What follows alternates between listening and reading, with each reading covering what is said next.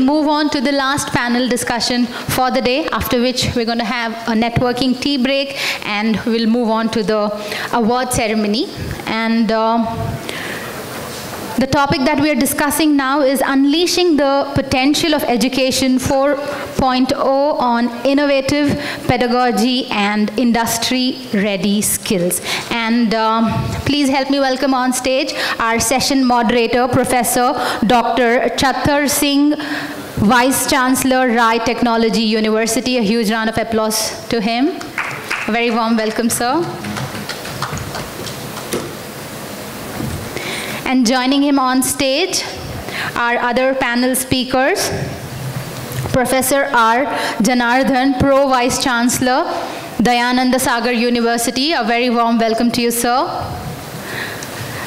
Dr. Vinay S. Director, Seshadripuram Institute of Management Studies. A very warm welcome to you, Doctor. Last but definitely not the least, Dr. Mahesh KM, Principal, JGI, SBM Jain Evening College. A very warm welcome to you, sir. Can we have a huge round of applause for our panel speakers, please? Good evening, ladies and gentlemen.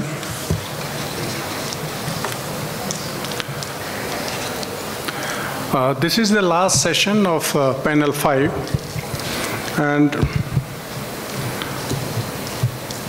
the title is Unleashing the Potential of Education 4.0 on Innovative Pedagogy and Industry-Ready Skills. This NEP 2020 is focusing more on skill now.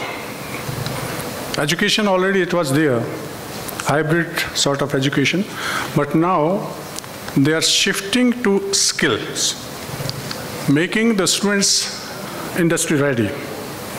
So on this topic, I have eminent speakers and educationists with me. Professor R. Janardhan, Pro Vice Chancellor, Dayanand Sagar University.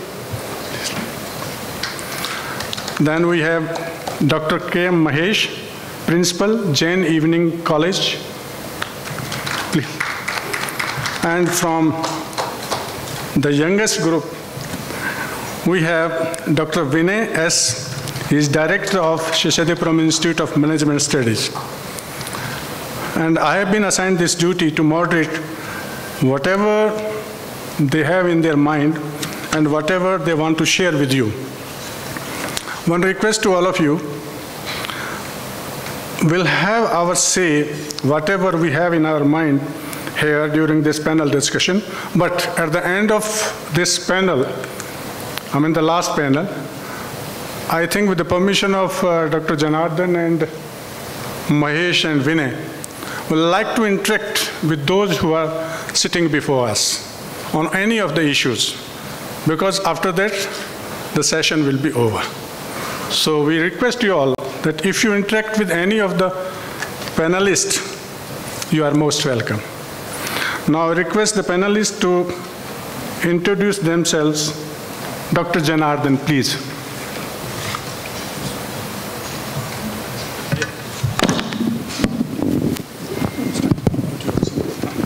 Good evening. Uh, I'm Dr. Mahesh, uh, Principal Jain Evening College. Uh, I'm working from the past uh, 30 years as a principal of the Union College, uh, having the students of 800 students uh, from the different background. They are all skill-based students. I can say our Evening College has a skill-based students. Some of them, they're doing CA, Chartered Accountant. Some of them, they are hostess training, they are ticketing morning and evening coming back for the BCom course. We have only one BCom uh, course program, BCom. I am heading that institution as not only as a administrator from past 30 years, as a, a visiting professor in the day college to get the first-hand experience of the teaching. I never ever uh, leave the teaching that. I'll go morning, our Jain group of institution, morning day college uh, for the degree students, both BCom and BBM uh, students. and I am the present uh, syndicate member, Bangalore City University. Uh, as a, my uh, qualification is recently, because we are talking about the skills, just I had to explain about my skills. To enhance my skills, I recently completed postdoctoral research from the Srinivasa University to get the skill-based, skill-based. Otherwise, we, we, we not called as a skill. We have a skill, but we don't have a skill, means we not upgrade, we don't have skills. So what my uh, skill, for the skill sake, we have to upgrade, rescale, upscale, and we have to skill every day to face this present uh, generation students, uh, industry 4.4. From morning, I am attending the all the all talking about the digital things. To enhance the digital skills, we should have a collaboration skills. And now I'll hand over to the sir. Uh, yeah, the first round of uh, discussion is uh, to uh, permit ourselves to introduce who we are. Uh, my name is R. Janardhan. I, I've been founder, pro vice chancellor of Dayanand Sagar University and the senior executive vice president of Dayanand Sagar Institutions. Uh, yeah, I've got a few uh, things that I have done, and I thought that is something which is good for this forum to know, and I'll be very happy to share of the work that I have done in the last eight, ten years. This, I feel, would be very significant for academic heads who are here in good number. Thank you. Very good evening to one and all. Uh, thanks for giving the opportunity to share a few information about on Education 4.4. My name is Dr. Vinay. I am the director of Seshadripuram Institute of Management Studies. Born and brought up in Mysore, my area of specialization is banking and finance. And I also worked as a massive open online courses course coordinator for goods and services tax which is uh, offered by UGC Swayam program. And uh, right now I am doing financial management course for MOOCs courses from the Swayam platform. This is my introduction. Thank you. Thank you. Now my first question will be to Dr. Janardhan. What are the fundamental principles of education 4.0 and what new has been added and how Karnataka is embracing this paradigm shift. The overall theme of this discussion is on skills. Okay. Uh, why do you need skills or, or why do you emphasize on new skills uh, to be taught uh, to our uh, students? Uh, do we assume that the skills that is now being imparted in our colleges is not adequate or industry is not accepting the products that are going out of our colleges? How many of you agree or disagree on this? We can go for a vote on that. Uh, I personally feel, uh, as of today, or, or at, for 10 years ago, or 15 years ago, or five years later, also, the skills that are coming out uh, from a teacher to the student the teaching learning is, uh, is really empowering this young boy, girl to mature and become a well-rounded personality ready to uh, get adjusted and respond to industry needs based upon the requirements of a particular firm and industry. If that was not so, and this I feel is, has been successfully going on, industry recruits uh, extremely large number of people. Now, uh, Indian companies are catering not just to uh, uh, um, consumers within the country, but across the world, especially in, in services like healthcare and in IT, and in uh, several other services areas.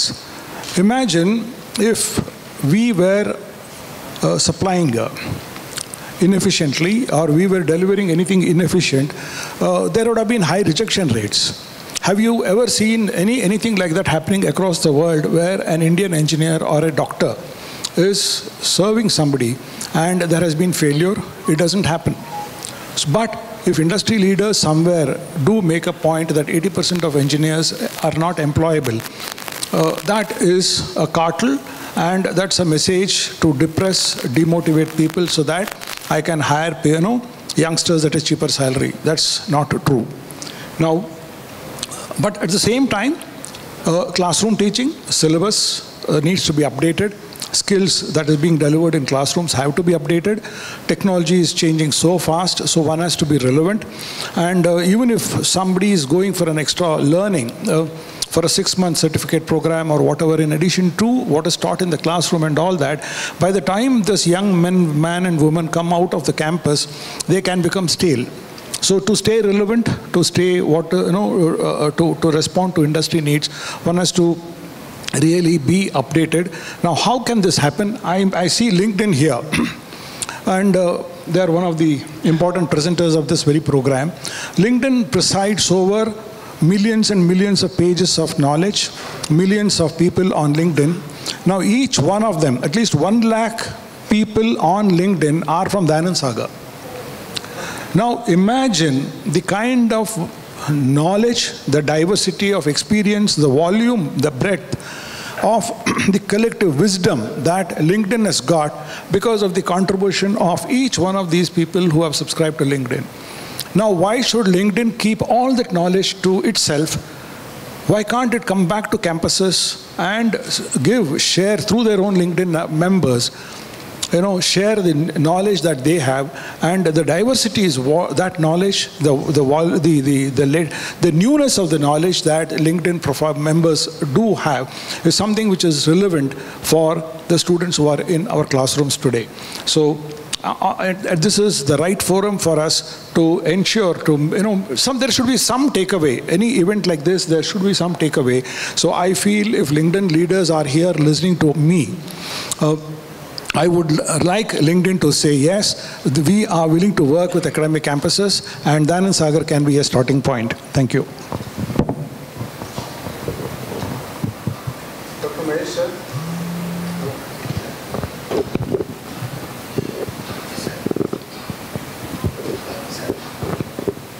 Hello.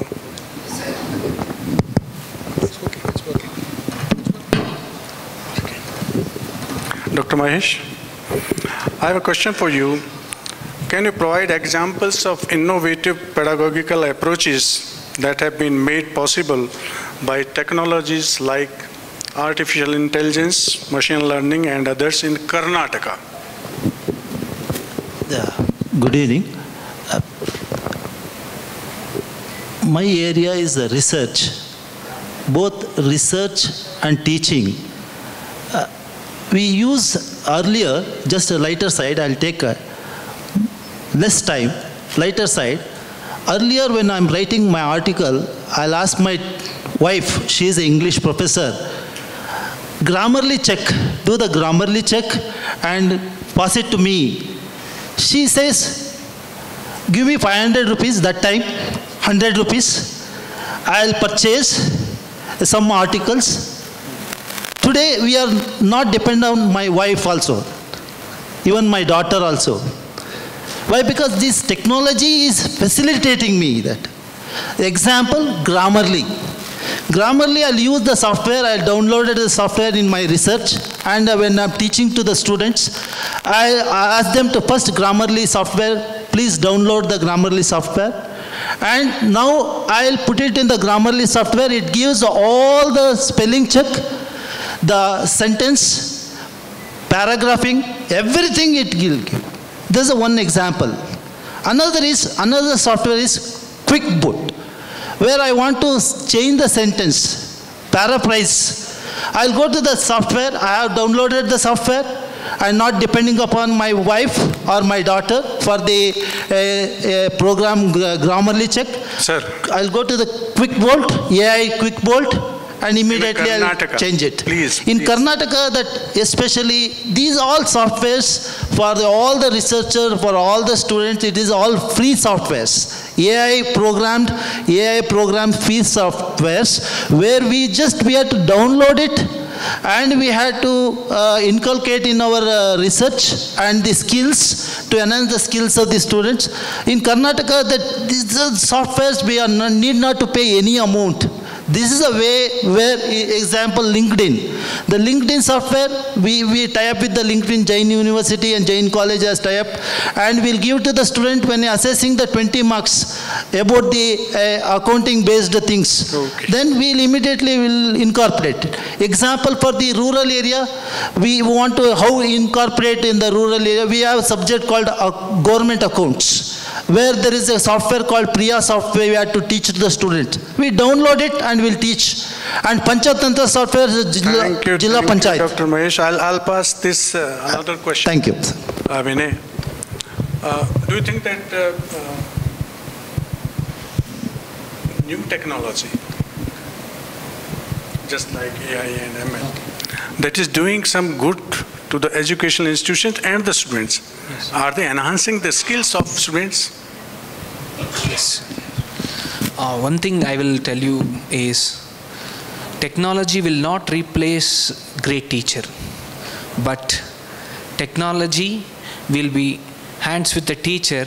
It will be a great transformational. That's more important.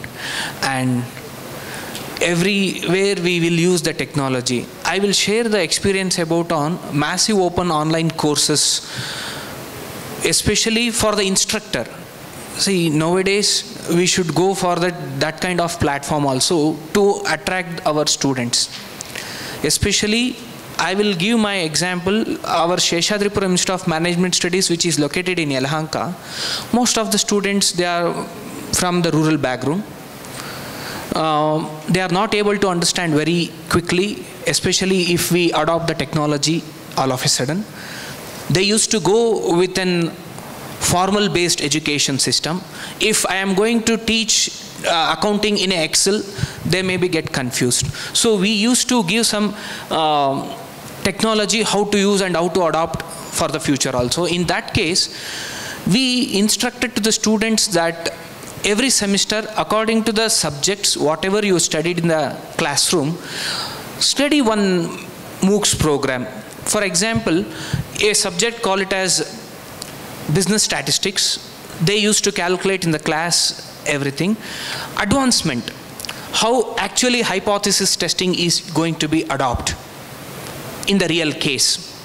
So in that particular things they'll go for the moocs programs like limited hours 20 hours 30 hours they will enhance their knowledge definitely education with respect to the technology is very much important nowadays Time factor is very important for us because we have to leave this hall yes by 5:30. definitely So I'll request Dr. Janardhan to share his experiences about the skill development that is taking place today in Karnataka and also the soft skills or the moral skills. We don't usually talk about that. So what have been your experiences in Karnataka as Vice Chancellor? ethics has now become part of the teaching learning process and uh, that is something which was uh, always given you know in school education it was always there and uh, teachers had a major role to play. Parents would spend a lot of time with their children and uh, as uh, as we grew at some point of time that practice was given up. But now there has been a realization that uh, you got to uh, lay emphasis on ethics and uh, you know therefore it has again uh, started to regain importance and all campuses across the country and even in Karnataka and Bangalore have uh, devoted uh, classes for uh, ethics learning and it is it is received quite well. Uh, now on the skills itself, uh, skills is always related to employment, but we at Dayanand Sagar, we thought of a different program um, just to tell industry that uh, uh, you pick the best and go away and uh, the rest can stay where they are. No, it, it doesn't happen that way. Uh, uh, there is a moral responsibility, again, I'm talking of the moral responsibility of every campus, is to see that uh, students, young people get education and education for employment and education for entrepreneurship. So that is something which we in Dayanand Sagar thought of, and we, uh, majority of them are definitely prepared for employment, and they have a written path, and quite a few go for higher studies. Some of them prepare for masters, research, things like that. All that is good, but uh, India had had uh, changed course in the last five six years and entrepreneurship innovation enterprise became the talking points and india has done exceedingly well. And being in bangalore Dayanand Sagar could not stay away from the experimentation in entrepreneurship. Uh, fortunately for us the industry responded very well when we went and told we would like to have industry labs in our campus. It was a one of its kind and uh, yeah, initially it was not that easy. We had to tell a story. Uh, just today, I spent before coming here, I spent a, a lot of time with LinkedIn, uh, you know, decision makers here. So half the battle is won, I feel. So it was the same strategy I do. I talk to industry leaders, tell them why it is important for them to establish their labs in an education setup. So it, it is their, their presence uh, through good labs makes a lot of meaning because the people who go from our campuses ultimately end up working for these companies.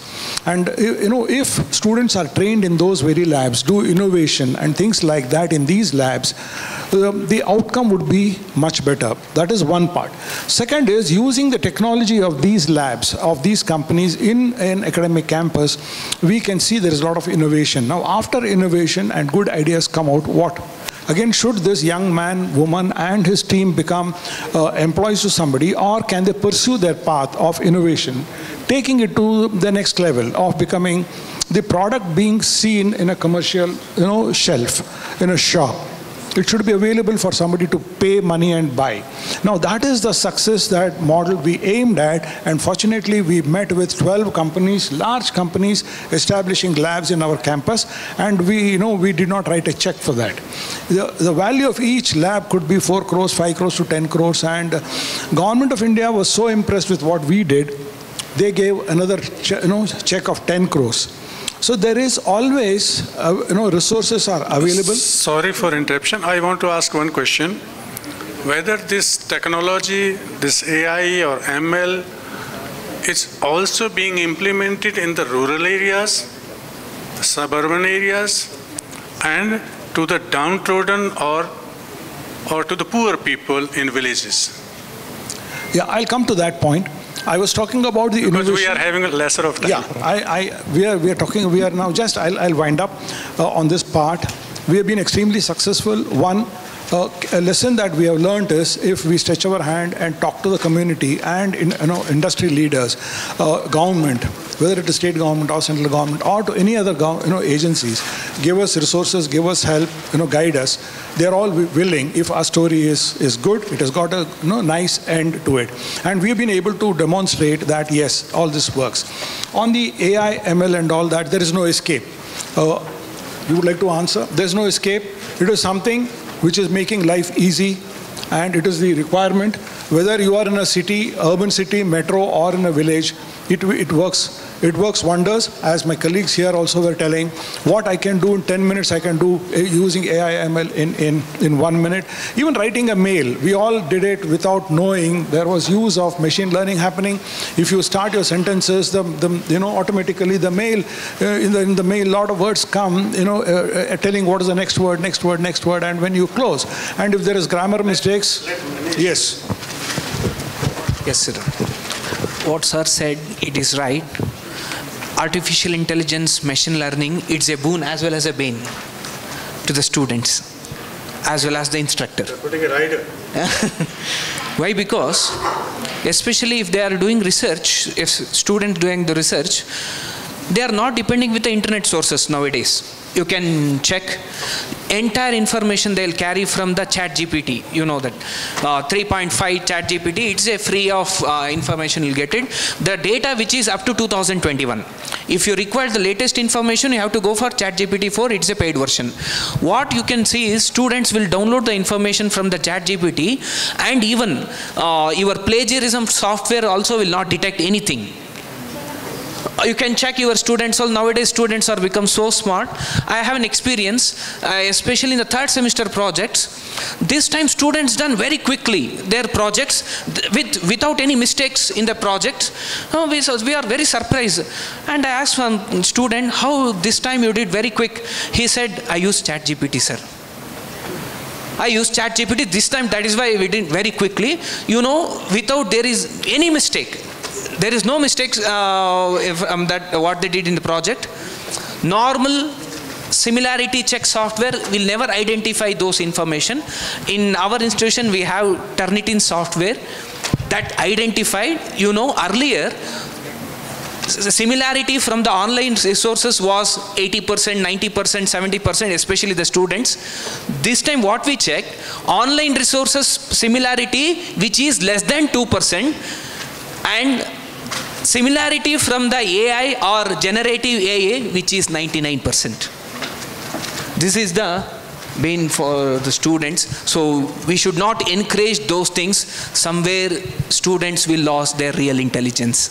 We should take care of those things. Why? Because that is a challenging education 4.4, 4.0, competencies, learning methods, information and communication technology and infrastructure. We should focus on these things to enhance the knowledge to the students. There is no replacement, uh, just for the lighter side. If you visit temple, the god and the pujari will be there, definitely. Like that, teacher and the the machine learning or AI definitely will be there, but we have to make the students to think creatively. That is only with, the with the way of three uh, three H. I think that we have to give health importance to the students and the teachers and we have to think happiness among the students and the teachers and we have to think about the high productivity only when the with the mingle of teachers skills and the ai we can enhance the three H. 3H is happiness, health, and the high productivity among the teachers and the students with the skills of the AI, ML, IoT, all these technologies. I just want to ask one question to all of the panelists. What innovative pedagogy or the new module or new courses can be introduced in the colleges and universities which have skill and employability? Janardhan sir.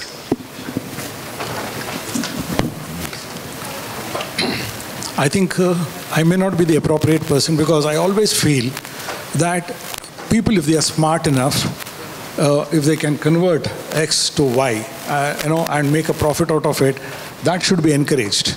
So I'm, I'm always looking at innovative solutions to anything, entrepreneurship, and uh, you know that is the way for uh, our people.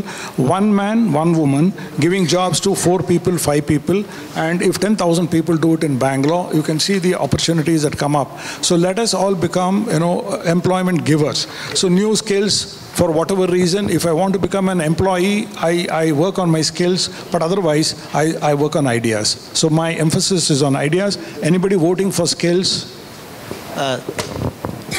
Present society, we require two things.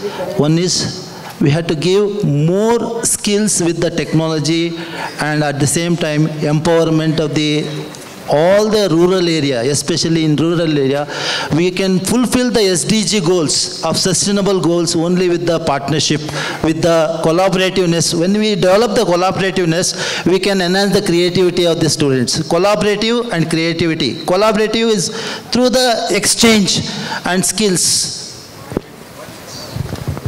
And uh, I will suggest that experiential learnings matter, sir. Whatever the students they studied, experiential learning. Question is about uh, uh, new courses, new modules. Yes. Should we uh, continue with 2 plus 2 is equal to 4 or we should have new courses, Yes. new skills? For this, I can give an example about if students want to study at derivatives, for example, futures and options. If the students is going to practice with the various modules and other things, they should simultaneously go with an how reality it is how future will works in the market, how options work in the market. Those things they should study with the continuity what they done in the regular classes. Uh, this question came to my mind only because of this factor that one of my friends, he asked me the question that is any university in India is ready to launch a course of uh, EV motors.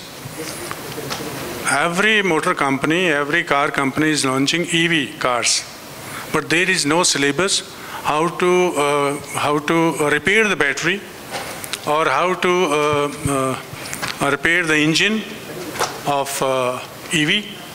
We have no course so far. So he wanted to Can I- know. can I- can I, he wanted to to know. sir? Yeah, please. Uh, any of you who would have uh, purchased Japanese uh, uh, goods, even in the kitchen, you know that when something like that goes wrong, it is just thrown. Any of the computers, you call the EDP guy, the computer maintenance guy, that something is wrong, he will never repair it. He'll just remove the, the damaged part and he says it has to be replaced. So today it's a replacement market, it is not a repair market. So you, and especially in the domain that you are talking about, there is nothing like you repair, and computers do it. Computers warn, the system and the software warns what is going wrong in the future, correction is done. So there is very less of, it's not the, the traditional engines, you know, they, they don't work in, the, in that system. So it's very different. But for a period of time, yes, uh, with the EV cars and EV automobiles coming on the road, uh, people will become acclimatized. And but then there is no way an EV car or an EV motorcycle can be ever meddled with the owner. But sir, Something this goes is wrong, India. This is India. So today, We, uh, we have with the permission cars of the sir, 15 years.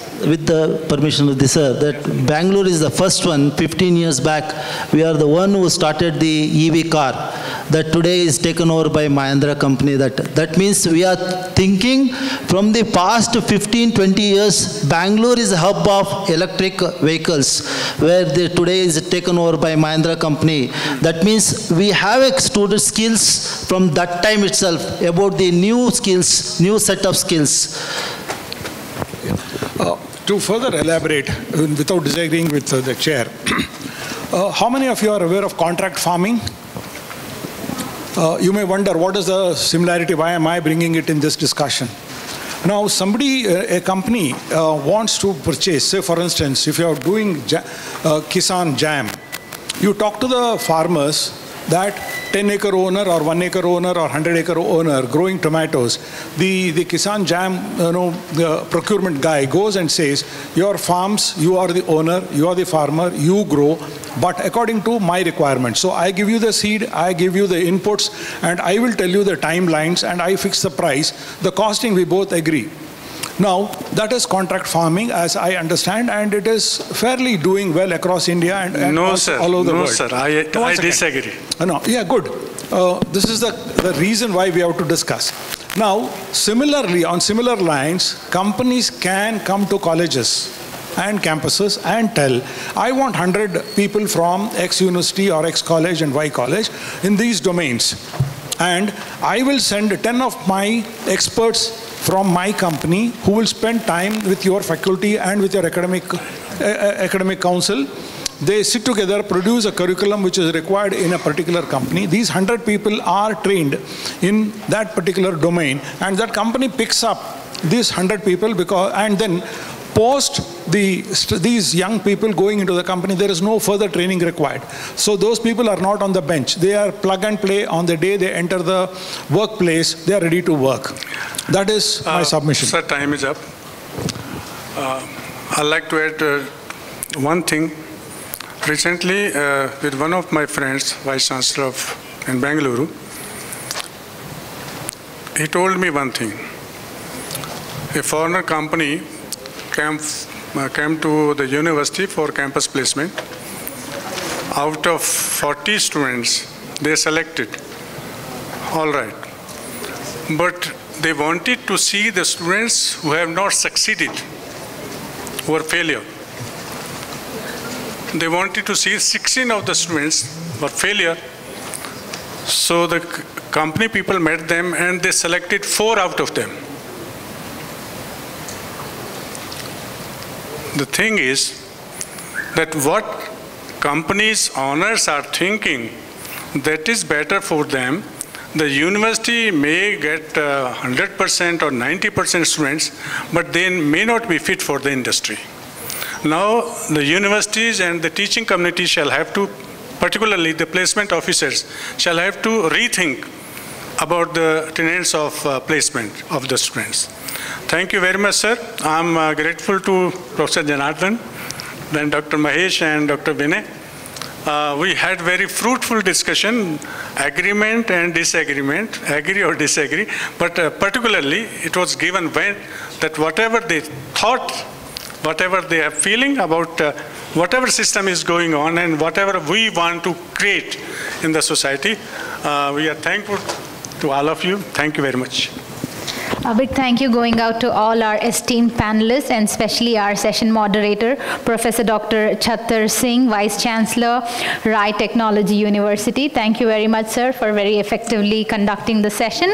And to do the honors of presenting uh, him and our panelists a token of applause.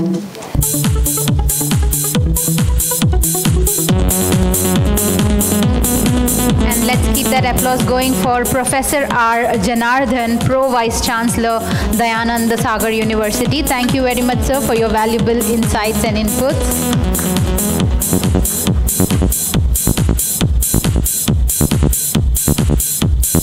Let's keep the applause going for Dr. Vinay S., Director, Seshadripuram Institute of Management Studies. Huge round of applause.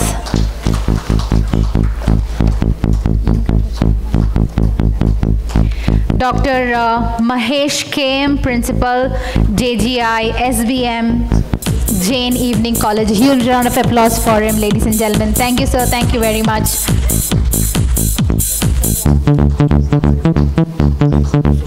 Requesting for a group photo, please.